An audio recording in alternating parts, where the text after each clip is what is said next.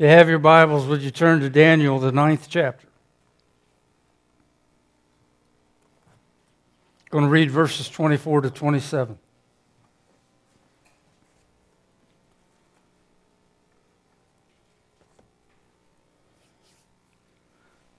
And I'll tell you from the outset, this passage is about as clear as mud. It makes no sense. And I've studied it for years and it's still cloudy. But I think we got a grasp on it.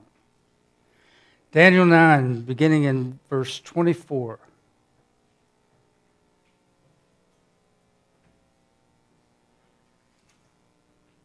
God's word says 70 weeks are determined for your people and for your holy city to finish the transgression, to make an end of sins, to make reconciliation for iniquity, to bring in everlasting righteousness, to seal up vision and prophecy, and to anoint the most holy.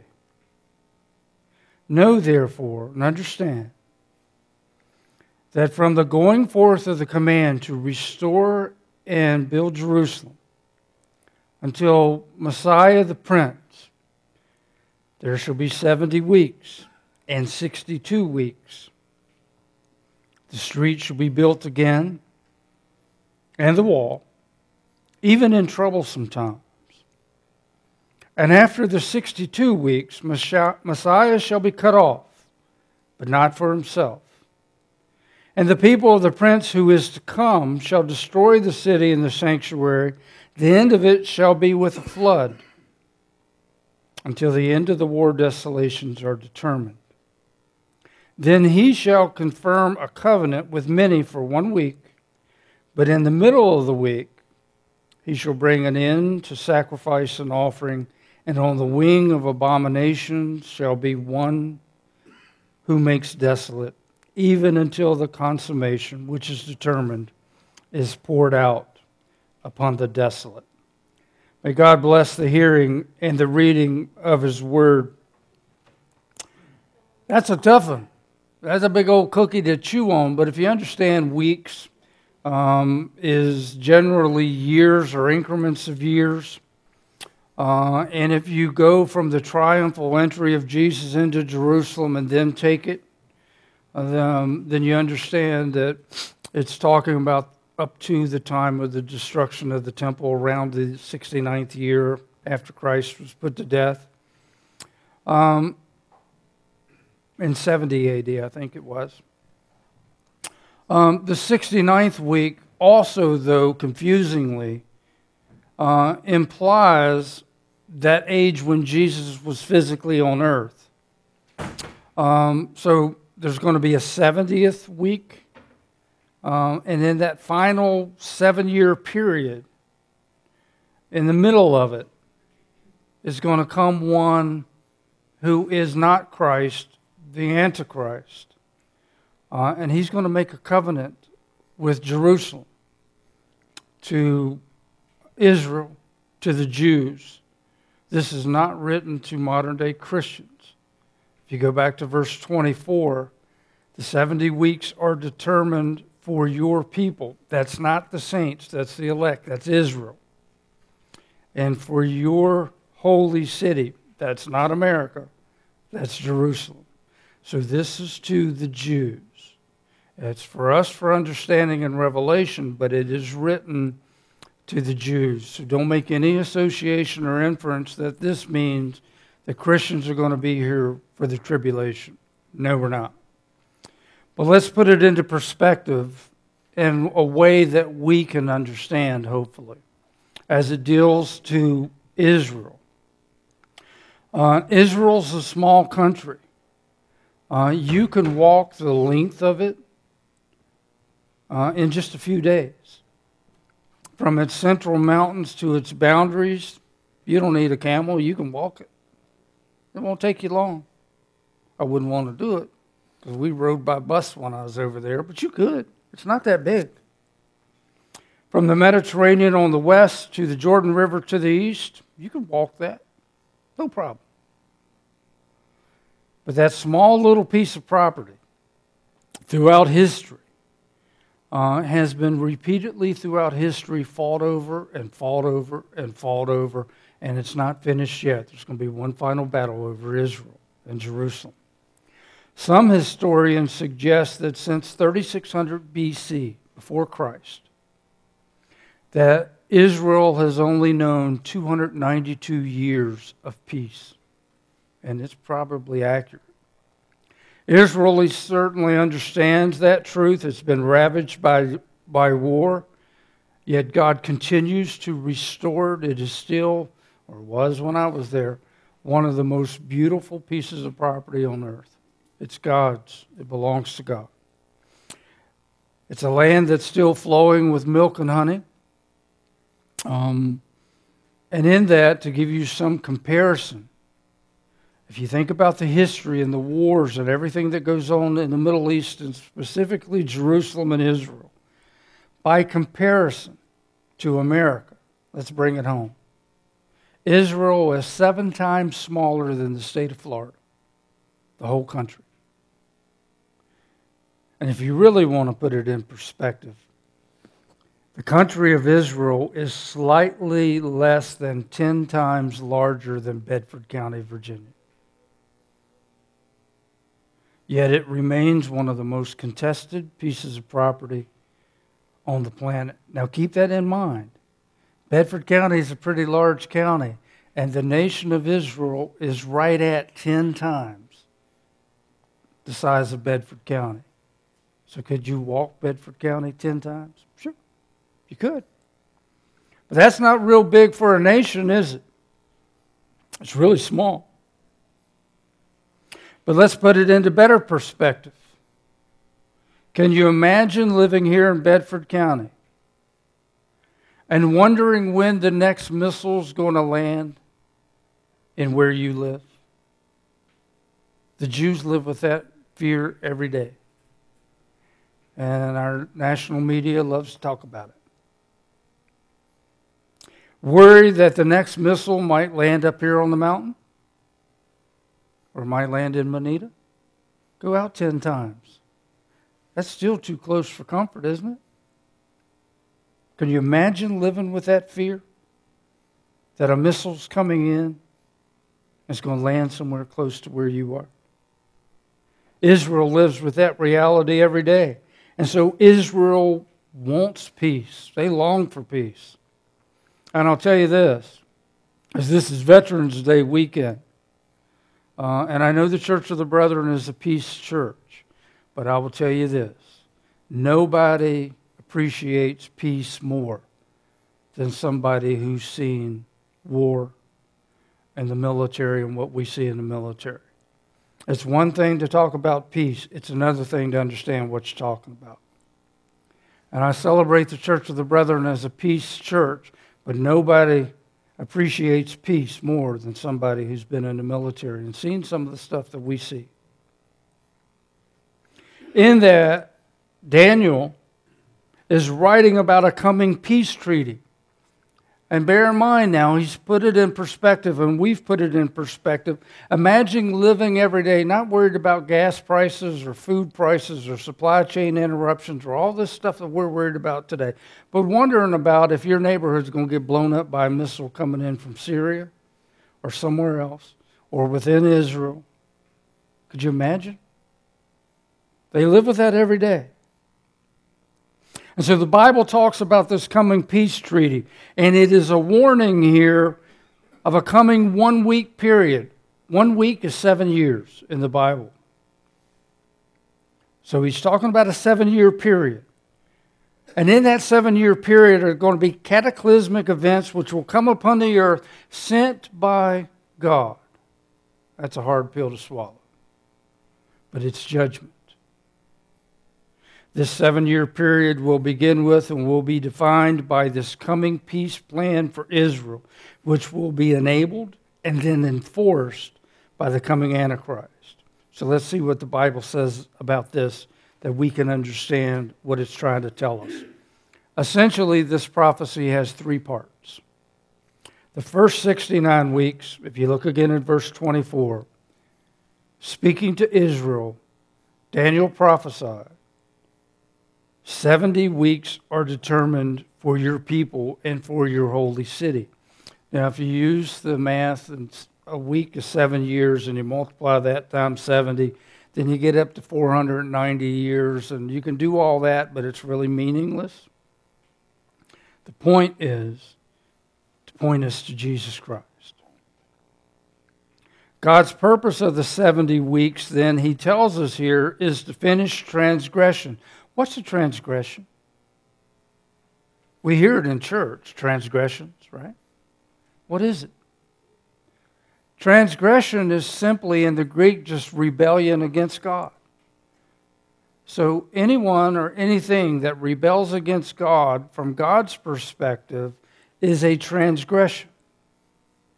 And it can be applied to anything uh, a nation, a people, an individual, an event. If it is against or in rebellion against God, from God's perspective, that action, that thought, is a transgression. Then it says 70 weeks are given to make an end of sins. What's he talking about there? Is there coming a time will sin will be no more? Yeah. God is going to judge this world. He's going to put an end to sin, and he's going to deal with the father of sin, which is the devil. But in the meantime, the devil's going to play some games. He's going to influence this one called the Antichrist.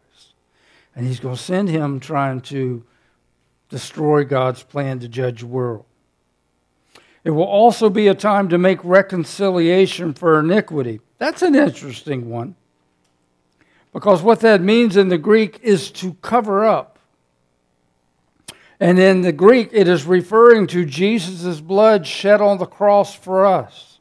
So when he says to make reconciliation for iniquity, iniquity is sin, and to make reconciliation for iniquity is God sending his son Jesus Christ from heaven to earth to be the propitiation for our sins, to live a perfect, sinless life, fully human, fully God. And no, I don't understand that. But he was. And to die on the cross for us that we can be restored to God, released from the bondage of sin cleansed from sin, and declared right with God. That's reconciliation for iniquity. And Jesus Christ did that on the cross for you and for me. To bring in everlasting righteousness just simply means to restore that normal relationship between God and man that was once had in the Garden of Eden and will return, brothers and sisters, when we get to heaven. The devil can't touch us anymore there. And then he says to seal up the vision and prophecy, which means just to confirm what Daniel was writing, God's going to confirm that. Not that there's no more prophecy, which is questionable. We're not in the age of prophets telling us stuff anymore. We're in the age of God fulfilling what the prophets have already said. There's a difference in that when you think about it. It is this part of the prophecy that refers to Jesus Christ. Look again at verse 25. The first 69 weeks is a mathematical prophecy, and I hate math. One of the reasons I don't like this passage. But it's a mathematical pro- prophecy, which began with, the, the Bible says, at the command to restore and rebuild Jerusalem. And when did that happen? Well, it happened in Babylon with King Cyrus, who decreed that the Jews could go back and rebuild Jerusalem and their temple. It happened, um, initiated by King Cyrus, but it wasn't until his successor, um, Darius and um, Artaxerxes, that the Jews really began to go back to Israel. You remember Ezra wrote about that in the Old Testament, um, that he couldn't get a whole bunch of people to go with him. Uh, and the main reason is we talked about that Monday, uh, Wednesday in Bible study. Only about 15% of Jews ever went back to Israel. 85% or so stayed in Babylon. Why? They were comfortable. B, some of them were too old to make the trip.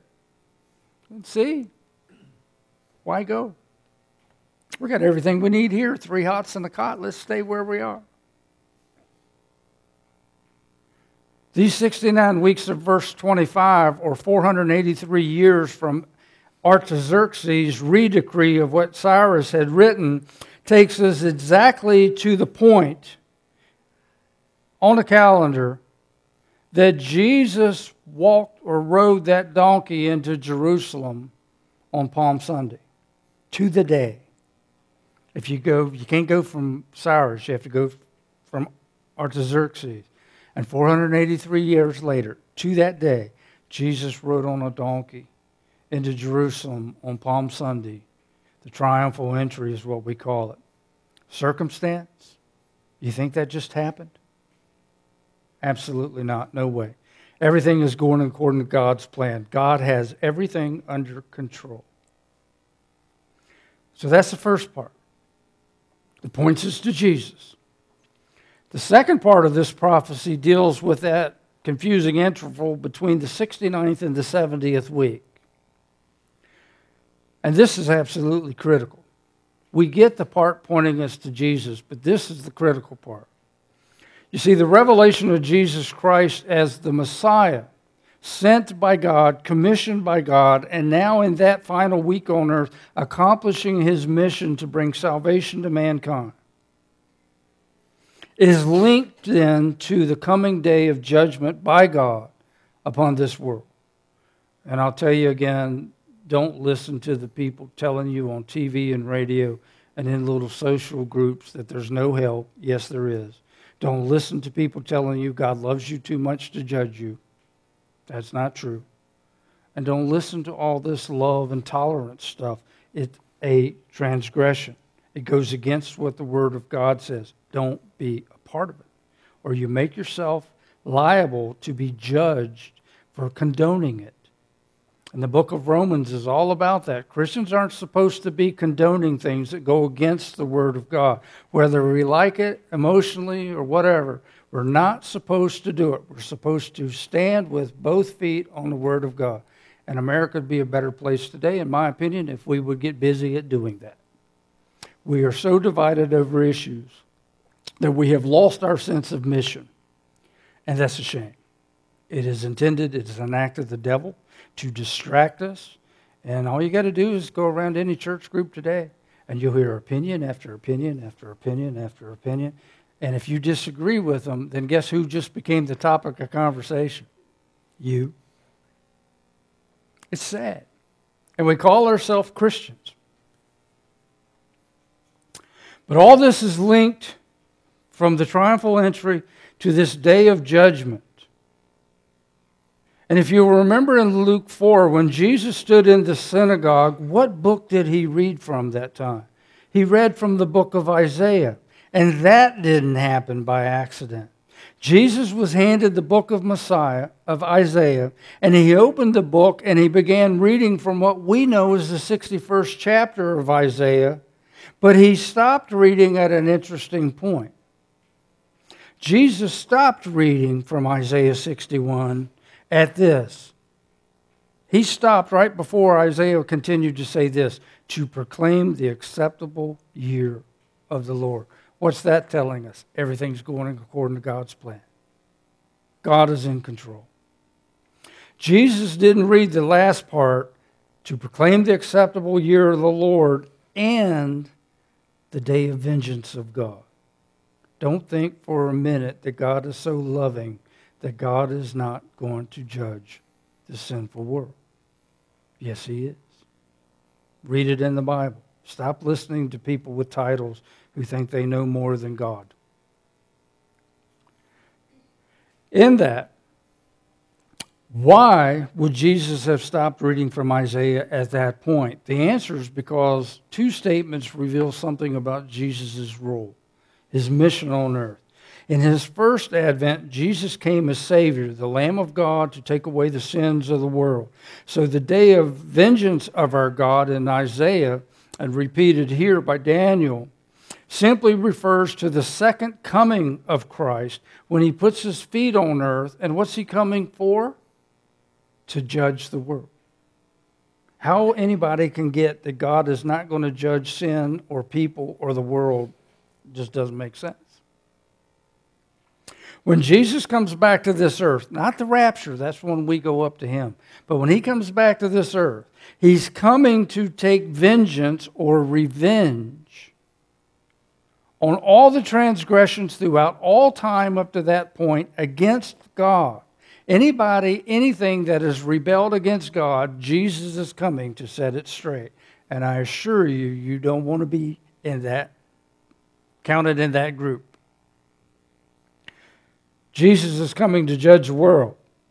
And when he comes, and he comes back to this earth, remember what the Bible says when he comes back? Who comes back with him? We do. Remember, the Bible says, and Jesus will be seen riding on the horse, and the horseman with him, and his army with him. And it talks about as we come back, as he comes back, that the saints come back with him. So, there again, you get the idea that if we come back with him in his second coming, and there's a gap between the rapture and the judgment of the world, then, guys, we can't be in two places at one time. You can't be down here going through the tribulation and having been raptured to God in heaven and come back with him at the second coming. So, you're not going through this. There's a pre tribulation rapture that is biblical, the mid and post is not biblical based primarily on a misunderstanding of the word elect, and specifically from Matthew 24.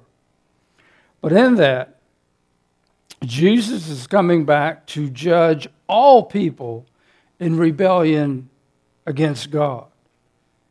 And the primary way people get in rebellion or get into that court of transgression or rebellion against God is to not believe in Jesus Christ, to think it's silly or don't make sense or I ain't got time for that.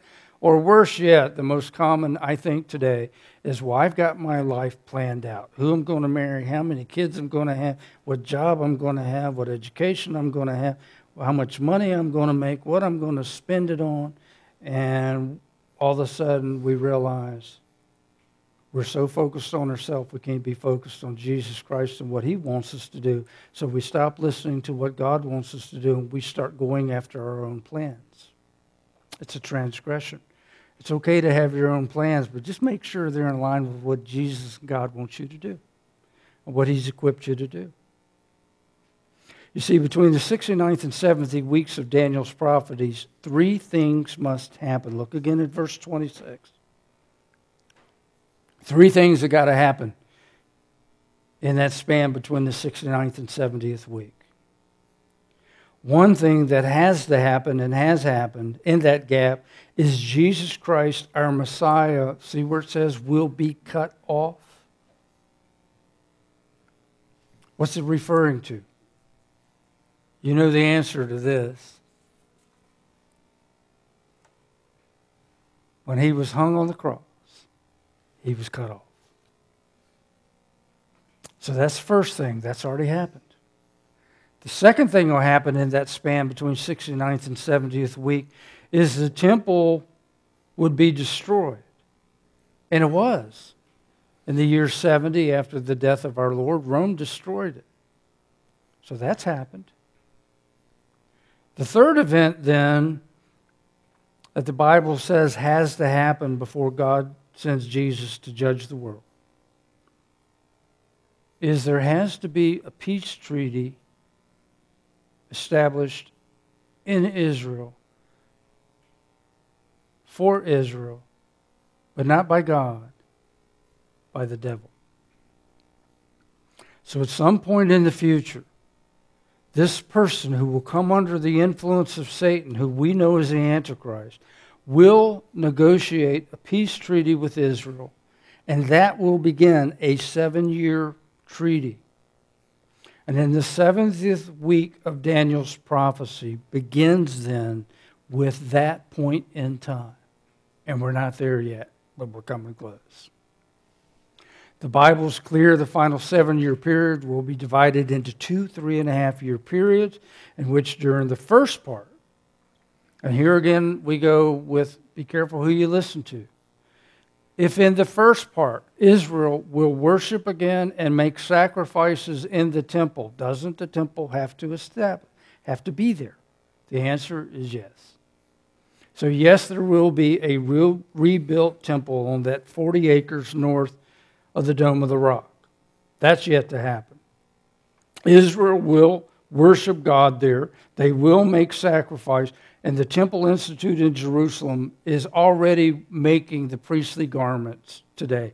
They are making all the vessels, they are making everything according to Exodus, so that when the temple's rebuilt, it's ready to go. So don't think it's some 20, 30, 40, 50 years, 100 years away. It could be tomorrow. They're making these things today. The only thing that's throwing them a curveball is the um, is it the menorah, the seven candles that the oil flows through. The biblical description, we don't have the technology day to make that according to the, what is given to us, the instructions in Exodus. So we're not sure how we're going to make that. But then again, you can't make it by human mind and reasoning because it requires divine revelation and inspiration. So when the time is right, God's going to inspire these Jews to make it. And then everything's ready to go. The last three years or three and a half years are going to be a time filled with unimaginable horrors as the Antichrist, inspired by the devil, seeks to destroy all that is God. And again, what is that? Well, that's rebellion. What is rebellion? Rebellion is transgressions. Jesus said in Matthew 24, those final three and a half years will be like has never been seen in the history of mankind. So, should we take this serious? Yes. Should we take serious whether or not we choose to believe in Jesus Christ or think we've got the rest of our life to make a decision? And worse yet, to think that somehow we're going to be in control of our death and we'll just make that declaration on our deathbed. What if you never make it to your deathbed? See the horror in making plans to do against what God is calling you to do? It's going to be such a terrible time that the Bible says, unless God shortened it to three and a half years, nobody and nothing would survive. Revelation chapter 16 mentions seven bowls of God's wrath, not his love. So there we go again. That will be poured out upon mankind on earth during those three and a half years. Who's going to be there? Anybody and everybody who, down deep in their heart, really does not believe in Jesus Christ made a profession but didn't believe it, you're going to be here. Put off making a decision for Jesus Christ, you're going to be here. Anybody who rejected Jesus Christ, you're going to be here for that unless you come to faith in Jesus Christ. That's enough of bad news, right? We're upbeat, positive people. And I am. So let's have some good news. Here's some good news for you. God will send Jesus Christ to rescue the saints before the seven years ever happens. It's called the rapture. Brothers and sisters, if you believe in Jesus Christ, you've professed Him, believe in all your heart that God sent Him, that He died on the cross for you, and God said, Hey, son, get up. It's time to come home. And He went back to heaven. Guess what? If you believe that with all your heart, you're not going to be here for this. You're going to be raptured. That's good news. The coming day of God's vengeance will come as a thief in the night, which means everybody's not going to see it. Then assures believers in Jesus Christ of this. It's written in the scripture. Quote, God did not appoint us to wrath. So if God did not appoint us to wrath, will we be here of the day of wrath? No. Because God hasn't set that for us. He's removed us from that. Then it goes on to say, but to obtain salvation through who? Our doctrine, our belief, our church, what grandma taught us? No, through Jesus Christ, who died for us, that whether we wake, which means live, or whether we sleep, which means to have passed on, we should live together with him. There's a coming rapture, and it's coming sooner than we think. And we're going to be with him forever. We're going to be with each other. So if this message has scared you, and I really hope it hasn't, then and you've put off coming to Jesus Christ in faith, but realize you don't want to be around for that 70th week, then come to Jesus in faith. Salvation is so simple. Just receive Jesus Christ in your heart. Believe that he died for your sin and rose again. And if you truly believe that, I don't save you, and no pastor does. God saves you through his son Jesus Christ. And you will be assured that someday you will rise with him forever and escape the coming tribulation. For those of you who are saved through God's grace in Jesus Christ, the message to us is not panic, it's watch. You are in a Bible believing, Jesus professing, repentance preaching church where you can learn the Bible prophecies and truth, which will give you insight into God's unfolding plan. And I assure you, everything is going right according to God's plan. Why? Who's in control? God. And in God's unfolding plan, my friends, you have a place with Jesus Christ. And you have a place in it through God's love for you and Christ's sacrifice on the cross for you. So it's a good day to be a Christian. Amen? Please stand as you're able for our closing hymn number, what to do with it? 320. I want to offer an invitation to you. If you're in your car in a fellowship hall or here in this room, you've never really received Jesus Christ as your Lord and Savior. I invite you to come forward as we sing number 320. If you'd just like to join with our church, we'd love to have you. Number 320.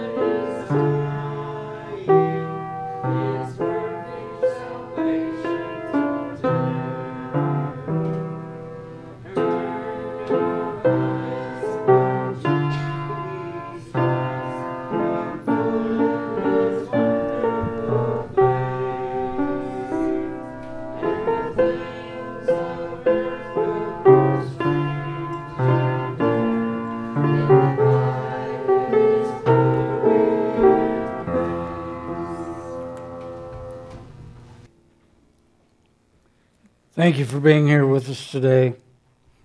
I hope that this message has maybe um, taught you something, opened your eyes to the reality that we're to take salvation in Jesus Christ very seriously. Uh, and there's no better time now than to come to Him. I encourage you to stick around for the council meeting uh, of the work that's going on in the church. There's tremendous work going on in your church. Uh, people have been hard at work, uh, and we find ourselves in a time where um, we've got to toughen our skin just a little bit, but God has a plan, and He'll see us through if we're faithful to Him. In that, may the God of hope fill you with all joy and peace in believing, so that by the power of the Holy Spirit, you may abound in hope. Go in peace. Amen.